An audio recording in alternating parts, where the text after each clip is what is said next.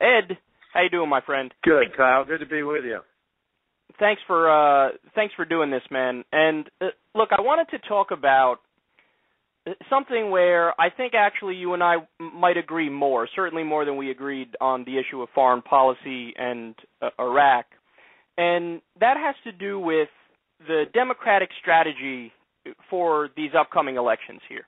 Now, you're, are you currently you're currently in the Midwest? You said right? I'm in Minnesota, and uh, I'm going to be back in New York on uh, Monday and Tuesday. But next Wednesday and Thursday, I'm going to be covering two races, working up stories on two races that I think are very obscure to the national media, and that's Iowa and South Dakota. And my complaint, Kyle, is that the uh, the Democrats are not resourcing these two Senate seats, and they should be these two campaigns. These are cheap seats to buy when you talk about media purchases. You know, a spot in New York City costs a hell of a lot more than one in Des Moines, Iowa.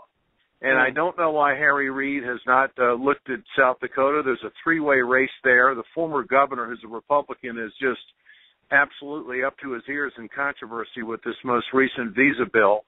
That uh, there was some money missing there, and his hands are, are all over his administration mismanagement. I mean, there's a real opening for Rick Weiland, who used to work for Tom Daschle. There's a real opening for Congressman Bruce Braley, who is going up against probably the biggest Tea Partier in the country, although she's disguised herself very well, and that's Joni Ernst. Mm. So uh, I'm, uh, that's where I'm going because because here's what's happening: the, the Republicans think if they can win three of these four Senate seats, North Carolina, uh, Arkansas, Louisiana, and Alaska. If they can get three of those four, they think they can take back the Senate. Well, that tells you they think they're going to win Iowa, they think they're going to win Montana, and they think they're going to win South Dakota. And I just think that there's a big opening there for the Democrats to hang on to the Senate if if everything is resourced properly. So that's that's my story next week. Now, this actually ties in perfectly to the issue I wanted to bring up, which you kind of hinted at it there with uh, Harry Reid, in the sense that I think and I've thought this for a while now, going back to probably, you know, just right after the Clinton years. I think that complacency kills the Democrats. And what I mean by that is so let's say they do something good for the American people, legislation X. See, we could even just use Obamacare as an example here. After they do something good, they very rarely come back to that and mention it and go over and over and say, "Hey, we did this great thing for the American people, and remember, it's the other people who tried to block it and take it away, and they're still trying to take it away. And if we get complacent here, we're going to lose. So you need to make sure you get out and vote. And I break it down this way, Ed. I think, I know it sounds kind of cheesy, but this is the way I like to think about it. I think the Democrats – should use this three pronged strategy in all their elections across the country, whether they're more centrist di- districts or left leaning districts. Do a facts, polls, and bragging campaign. So why not go out there and say, just to give one example, okay, that the Dem- uh, the Republicans shut down the government not too long ago when they didn't get what they wanted, and they had a nine percent approval rating at the time. Remember that? The all everybody in America was like, these Republicans are terrible. a year ago this week. so a year ago why this are, week. That's right. So why are the now everybody forgot about that? And I actually blame the Democrats for the fact that everybody forgot about that because if I'm Harry Reid or if I'm President Obama by the way, I'm making sure that we all get together, all the Democrats get together, House, Senate, uh, you know, anybody and we say, "Okay guys, here's our strategy. On all the Sunday shows, we go out there, we bring up the fact that the Republicans shut down the government. Nobody in the country liked them. Keep saying the numbers. Say 9% approval rating, 9% approval rating. They did this. They did this. Now, America, do you want that to happen again? If you don't, get out and vote. Yeah. Well, you know, I don't, I don't disagree with uh, what you're you're talking about. You're talking about a very aggressive uh, strategy uh, very aggressive campaign from the standpoint of doing the due diligence of look at what we've done, look what they have done, and, and that normally works. Getting people's attention today and holding it is is really the hard thing. We got the attention span of about 20 seconds to read a Twitter account, then we're on to something else.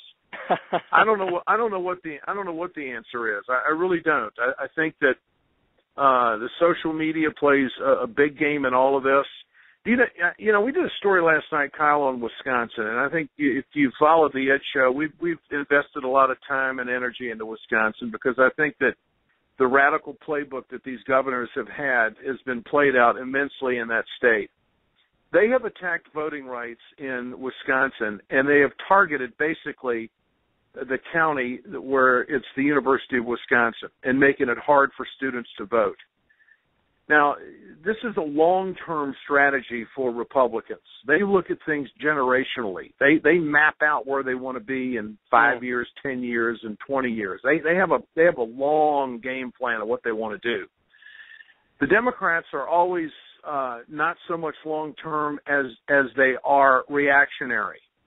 Mm. And and re, it takes a lot of money to be reactionary and I, I I just think that this is going to could be a tough fall for the Democrats if we don't get motivated if if I we agree. don't uh, if if we don't recognize what's at stake here. Um, I, I I don't know. I'm I, this is going to be very very interesting. I can't wait to hear what people have to say in Iowa and South Dakota next week. I mean, so, the, Ed, if you look at the if you if you look at the Democrats, they're all on populist issues, and and they all poll well on populist issues. Everything that they've tried to accomplish. Okay, you just took the words directly out of my mouth here because what I was going to bring up next is if you have the ear of any uh, any one of these you know Democratic players in these different states you're referencing right now one of the things that I bang my head against the wall at night trying to figure out why the Democrats haven't done this is the idea of just old school style populism. I mean, all you have to do is look at the Gallup polls or the Pew polls or any poll you want, and you find that, what is it, 80% of the American people want to raise the minimum wage. 90% of the American people wanted to do a universal background check right after uh, Sandy Hook. A majority of the American people want action on immigration. They want action on climate change. When you look at Afghanistan, 17% of the American people want to stay there. In other words, the American people are largely anti-war, and of course the Democrats are usually the more anti-war party. So since we have the people on our side, why are we not referencing that? Could you imagine, Ed, if – there was, you know, whatever Republican, Republican X, Marco Rubio or Paul Ryan, whoever, they see a poll where they find that 80% of the American people are with them on any issue. Do you have any idea how many times they would bring that up and repeat it to the point where everybody oh, in the country know would know it? I, I know, I know, I know. It. It's it's uh they're they're they're hurting the cats is something the Democrats don't do a very good job of, and really never have. Uh, it's one of those inexplicable things in, in politics. I, Harry Reid is putting a lot of uh, investment into saving Kay Hagan, uh, Mary Landrieu, and Mark Pryor. Begich might be okay in Alaska. But for some reason, the National Democrats, in fact, Harry Reid hasn't even endorsed Rick, Rick Weiland, who is against Keystone in South Dakota. He's uh, he's the Senate candidate for the Democrats in South Dakota. He's against Keystone. He's for minimum wage. He's for workers' rights. He, he's for the uh, national health care system. Uh, you know, he's for uh, yanking uh, corporate dollars offshore and making them pay their fair share. All the things that poll extremely well. And for some reason, uh, he can't get much money out of the National Democrats, and he can't get uh, a big support out of Harry Reid. I, I can't figure it out. I don't know. I don't know what the, I'm going to find out though next week. It's going to be an interesting story. Uh, but I, I share your frustration. Uh, I see what you're saying, and it is uh, not an imagination. It's real. It is. There's no question. Um, so, and I think I think the, the other big here's the tough thing for the Democrats in 2014 to set up 2016. I've said it repeatedly, and that is the state's uh, Secretary of State's job in Ohio. You look at presidential elections. You want to go to the White House, you go through Ohio. I mean, statistically, the way the map breaks down, all of it, you got it very, very you, got to win Ohio. Uh, we know the Republicans will do. They'll play dirty pool. They'll suppress the vote. They'll do whatever they can. We've got to have free and fair elections and an accurate count in Ohio. And Nina Turner, who is running for Secretary of State, is a model candidate. She's a state senator. I'm sure you've seen her on our shows and other shows. I think she's terrific. I think that's the most important race in the country in the country. I believe Mm. that. If the, if the Democrats want 16, if they want the White House. Uh, the tough thing about Ohio is that the the gubernatorial candidate who's up against John Kasich is just a disaster. There's been some stuff that has come out about him as of late that has not been good, all the way from not even a legal driver's license to getting caught in the back seat of a car in the middle of the night with somebody who's not his wife. I mean, it's just, it's just, it, it's been a disaster, and he's at the top of the ticket, and that's hurting. And of course, the voter suppression issues that have come out in Ohio. But it's it's got to be an all-in situation. See, Bill Clinton, the former president, he endorsed uh, Nina Turner not long ago. We're going to do a town hall, I believe, in uh, in Cleveland with the steelworkers coming up uh, before the election, uh, and and focus on that race. These kinds of things have to be recognized. There's a you, you basically have in this country four mega swing states. Okay, you've got New York, you've got California, Texas, and uh, uh, Florida. All right, and then of course you have Ohio in the mix. But those four big mega states. There's one swing mega state, and that's Florida. We know that the Republicans are going to get Texas. We know the Democrats are going to get New York and California. Who's going to get Florida? That that governor's race is huge. The Koch brothers have tossed millions of dollars into that. Uh, Rick Scott has spent uh, a hundred million dollars trashing Charlie Crist, and the polls are even. And it's going to come down to voter turnout and what you and I started talking about just here: voter enthusiasm and also recognizing the moment and being motivated to go do what you got to do. It's going to be amazing. So Ed, let me ask you. I just want to ask you one more very important question, then I'll let you go because I know you're busy.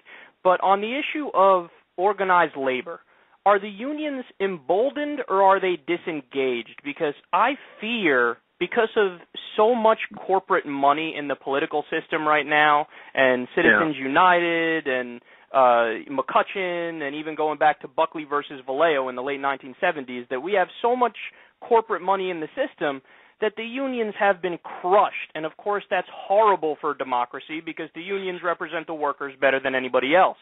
So are they disengaged or are they, you know, what's the state of no, that right no, now? it, it, it's interesting you bring that up. I was uh, speaking with uh, Steelworkers President Leo Gerard last night, and there's going to be a number of conference calls next week and organizational stuff. You are going to see uh, a, real groundswell support coming from organized labor here in the last three weeks before the cam before the election. So no, they're very aware. The Koch brothers, a number I heard yesterday, they have they have been behind over forty thousand television ads.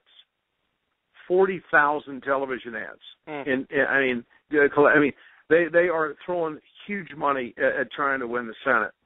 And so uh, the CWA, uh, the UAW, the steelworkers, the Teamsters, uh, no, they're they're very much aware of of the, of what's at stake. They're concerned about voter turnout. There's going to be a huge ground game, a huge social media effort to get out the vote, and so no, you can count on the unions. You can count on them uh, to to to make a play, a big play here uh, for November fourth. So Ed, for uh, for the unions, and I know uh, you know you do such a great job with them, and I I think if you can get their ears, I mean, I've thought this for the longest time now. I know it's a hard thing to do given the current state of politics in America, but I think the unions should only support the most progressive candidates who will not take any corporate cash because the corporate cash it really is the cancer in the in our political system today. Uh, there's no doubt. There's there's there, there's absolutely no doubt. Um, here's what they're calculated. They look at the competition and just see how far right wing and outlandish and how anti-labor the opponent is, and they don't want to create you know a, a third party situation that would peel away from one Democrat or one progressive. But no, they they do pay attention to the issues and they know who they can count on. Uh, Mhm. but they strategically place uh, their efforts to make sure that the majority is not going to be going to the Republicans. Got to run. I got the Ed Show in 15 minutes. Kyle, always good to talk to you. We'll do it again. I appreciate your time. Thanks, buddy. Ed, thanks man, it was a pleasure.